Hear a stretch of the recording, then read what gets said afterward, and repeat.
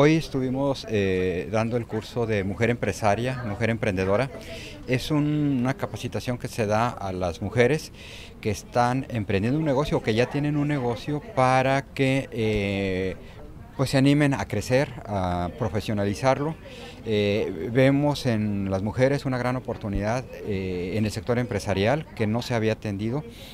hay adicionalmente a la capacitación un financiamiento, un programa de crédito que tenemos a través de los bancos con el cual las mujeres empresarias eh, pueden acceder a créditos en condiciones preferenciales. Eh, el punto más importante es, eh, de lo que yo puedo captar de, la experiencia de las mujeres, es que se la crean que son empresarias, que se la crean que pueden competir.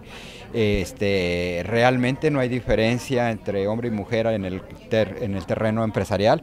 De hecho, en algunas cosas son más, organizadas. En la parte de crédito son muy bien coordinadas para este, hacer los pagos y cosas de esas, de tal manera que eh, en la banca se percibe como de menor riesgo. ¿Qué es lo que se busca al impartir estos talleres?